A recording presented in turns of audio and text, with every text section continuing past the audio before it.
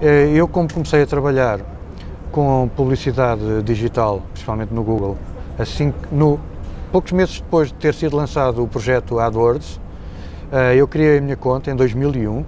e comecei, portanto, desde essa altura já tive tempo para fazer os meus disparates todos, cometer os meus erros e agora estou a ajudar uh, nas aulas que dou as pessoas a não cometerem os erros que eu cometi. Então, como durante muitos anos senti-me um pouco a pregar no deserto e a ver, olhar para todos os lados e a ver uma ignorância quase generalizada, aquilo que eu agora assisto já não é tanto assim. Quer dizer, eu já vejo organizações com um grau de sofisticação e de conhecimento bastante interessante, o que é bom, é espetacular, apesar de, é como tudo, ainda se uh,